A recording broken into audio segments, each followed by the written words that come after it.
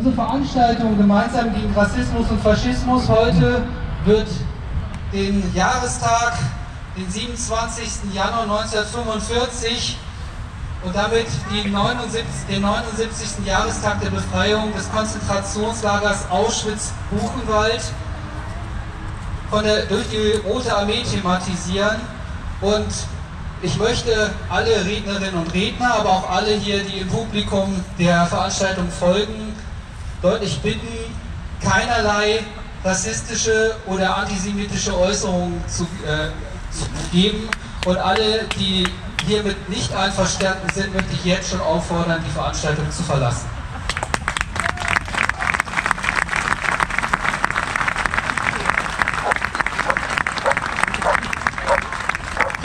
schon gefragt worden, warum wir die Veranstaltung hier machen und was dieser Eisenbahnwaggon damit zu tun hat.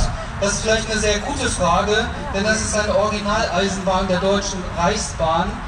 Und die Deutsche Reichsbahn war für die Deportationen im Dritten Reich zuständig und hat Millionen von Jüdinnen und Juden und andersdenkende und anders religiöse und anders politisch denkende Menschen in Konzentrationslager in ganz Europa transportiert, auch bis zu uns in unsere Region, bis durch Lüneburg und auch in unser regionales Konzentrationslager Neuengamme oder Bergen-Belsen, die wir in der Nähe haben.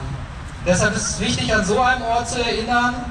Es finden aber heute auch noch weitere Gedenkveranstaltungen, zum Beispiel in der alten jüdischen Synagoge statt. Dazu kommen wir später.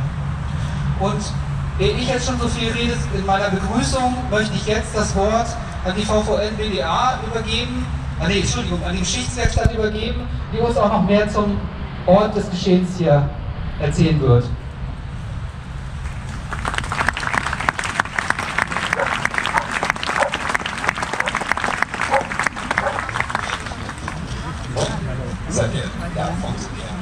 Ja, mein Name ist Wolf Redke, ich bin von der Geschichtswerkstatt werde es vor allen hier zu diesem Waggon sagen. Der heutige Tag ist ein Tag des Protests, aber auch ein Tag des Gedenkens, wie Matthias das eben schon gedacht hat, gesagt hat. Laut, Die Geschichtswerkstatt, besser? Alles klar. Die Geschichtswerkstatt hat diesen Waggon der Deutschen Reichsbahn 2015 aufgestellt. Dieser Güterwaggon der Deutschen Reichsbahn erinnert an die Vernichtungsinfrastruktur während der Nazi-Diktatur. In solchen Waggons wurden Millionen von Menschen, die nicht in das verbrecherische Weltbild der Nazis passten, beziehungsweise aktiv gegen das Regime gekämpft haben, in die Vernichtungslager Auschwitz-Birkenau, Treblinka und andere deportiert und ermordet. Die Deutsche Reichsbahn sichert aber auch die Versorgung anderer Lager mit Menschen, die dort die deutsche Kriegswirtschaft am Laufen halten mussten und durch Arbeit schließlich vernichtet worden. Dieser Waggon der Deutschen Reichsbahn erinnert aber auch an das größte Kriegsverbrechen, was in Lüneburg begangen worden ist. Was ist im April 1945 passiert? Mit dem Vorrücken der alliierten Streitkräfte lösten die Nazis ihre KZ-Außenlager auf. Die Häftlinge wurden ins Landesinnere transportiert.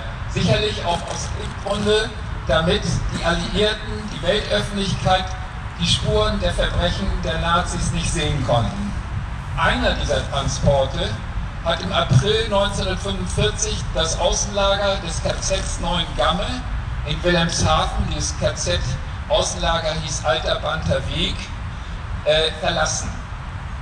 390 Häftlinge, vorwiegend Widerstandskämpfer, aus Frankreich, aus Italien, aus Belgien, aus Jugoslawien, alle durch Hunger und Arbeit und Krankheit geschwächt, wurden in vier Waggons, also 100 Menschen in einem Waggon, gefercht.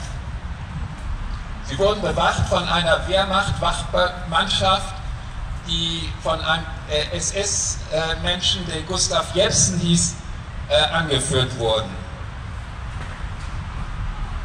Auf diesem Transport herrschten unmenschliche Bedingungen. Die Enge führte dazu, dass die Menschen während des ganzen Transportes stehen mussten, sich überhaupt nicht rühren konnten.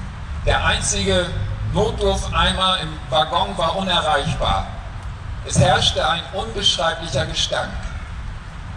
Unter den Qualen des Transportes, ohne Wasser und nur mit wenig trockenem Brot ausgestattet, musste jeder gegen den anderen kämpfen, um sein Überleben zu sichern. Von den 390 Häftlingen waren bereits 72 den Strapazen des Transports zum Opfer gefallen, als der Zug zu einem Zwischenhalt am 7. April 1945 auf dem Lüneburger Rangierbahnhof zum Stehen kam. Aber dies war nicht das Ende des Martyriums. An diesem Tag wurde um 13 Uhr Luftalarm gegeben. Die Häftlinge durften den Waggon allerdings nicht verlassen. Um 15 Uhr wurde der Lüneburger Bahnhof von amerikanischen Fliegern bombardiert. Auch die Waggons mit den Häftlingen wurden getroffen. In diesem unglaublichen Inferno wurden weitere 70 Häftlinge entweder Opfer des Bombardements oder von den Wachmannschaften bei der Flucht erschossen. Die Überlebenden flohen in alle Richtungen, auf das Bahnhofsgelände, auf das, in die umliegenden Wälder oder auch in die Stadt Lüneburg. Die Lüneburger Bürger und Bürgerinnen haben natürlich diese Vorgänge miterlebt. Die Reaktionen reichten von aktiver Unterstützung oder Mithilfe bei der Suche nach den Entflohenen über demonstrative Untätigkeit, zum Beispiel vom Bahnpersonal oder von der Polizei, bis hin, und das muss auch gesagt werden, zu vereinzelten Hilfeleistungen von Lüneburgerinnen und Lüneburgern. Fast alle entflohenen Häftlinge wurden wieder eingefangen. Ein Teil der überlebenden Häftlinge wurde in das KZ Bergen-Belsen auf Lastwagen deportiert. Die Verbliebenen wurden auf eine kleine Wiese auf dem Rangierbahnhof gebracht. Auf dieser Wiese harten die Menschen ohne Schutz gegen Wind und Wetter, ohne ausreichende Nahrung und unter ständiger Misshandlung durch das Wachpersonal vier Tage lang aus. Die, die fliehen wollten und mussten, wurden sofort geschossen. Am 11.04., also diese vier Tage später, begannen die Wachmannschaften unter der Führung des SS-Mannes Jepsen die verbliebenen etwa 60 bis 80 Gefangenen zu erschießen. Ein Tag später wurden die Getöteten im Tiergarten verscharrt. Jepsen und die Wachmannschaften setzten sich nach Neuengamme ab. Jepsen selbst wurde später in Dänemark gefasst, zunächst vor einem Lüneburger Landesgericht zu lebenslanger Haft und in einem zweiten Prozess in Hamburg schließlich zum Tode verurteilt und 1947 hingerichtet. Insgesamt haben von den 390 Personen, die am 4. April 1945 den Viehwaggon Wilhelmshaven zum Abtrans in den Abtransport eingefärbt wurden, unseres Wissens nur fünf Häftlinge überlebt. Drei wurden im Konzentrationslager Bergen-Belsen von den Briten befreit, zwei überlebten hier in der Stadt Lüneburg. Nach der Befreiung Lüneburgs durch die Alliierten ließen die britische, ließ die britische Militärverwaltung die im Tiergarten verscharrten, ermordeten Menschen von ehemaligen Lüneburger Nazi-Funktionären auf den späteren Ehrenfriedhof im Tiergarten umbetten. Sechs Monate später, am 10. Oktober 1945, wurde dort durch eine offizielle Trauerfeier für diese Opfer des Nationalsozialismus eine angemessene Ruhe- und Gedenkstätte geschaffen. Sie wurden so auch der Anonymität der Massentötung entrissen. Ihnen wurde auch ihr Name oder zumindest ihr Name zurückgegeben. Erinnerung und Gedenkenverfahren harren nicht in der Vergangenheit. Sie sind vor allen Dingen ein Impuls und eine Hilfestellung dazu, gegenwärtige Ereignisse und Prozesse kritisch zu betrachten und einzugreifen, wenn faschistisches Denken und faschistisches Handeln wieder an die Oberfläche schwappt. Ich danke euch für eure Aufmerksamkeit.